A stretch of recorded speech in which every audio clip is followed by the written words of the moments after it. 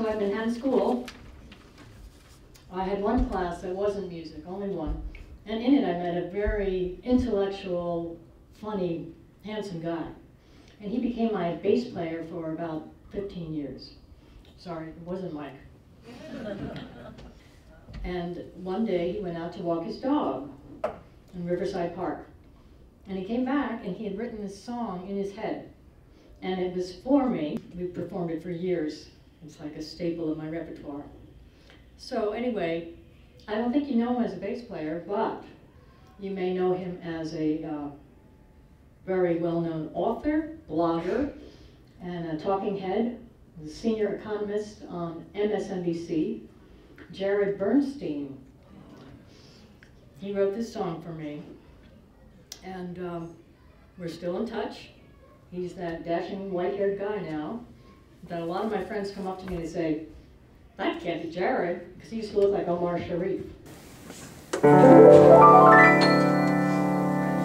I'm a girl who likes to date musicians. I guess I did every single axe. But now there's been a change in my condition. And I'm afraid I better face the facts.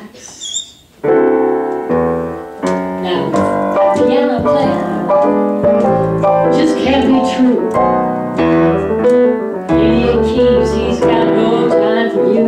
The fact I've come to face, I the the upright bass. Now with that drummer boy, you can never win